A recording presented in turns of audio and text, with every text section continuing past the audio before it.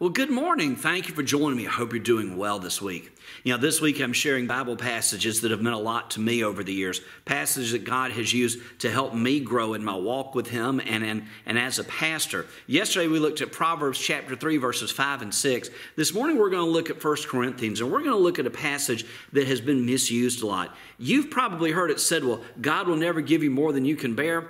Let me tell you something. That's not true. That is absolutely not true. But I want to read you the passage where I think that's coming from. Looking at 1 Corinthians chapter 10, verse 13. No temptation has overtaken you, but such as is common to man. And God is faithful, who will not allow you to be tempted beyond what you are able, but with the temptation will provide you a way of, of escape also, that you may be able to endure it.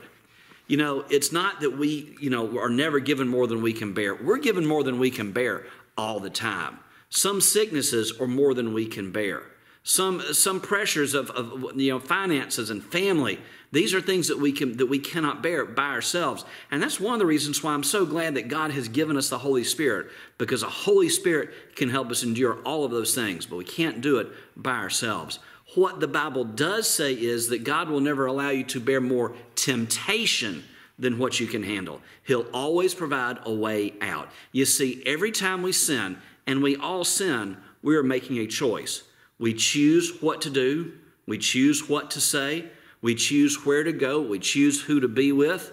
We always make choices when we choose to sin. Now, I've heard someone say, Well, I got there and I didn't have any choice. Well, a lot of times we say that to comfort ourselves for the choices we made that led us to being in that position.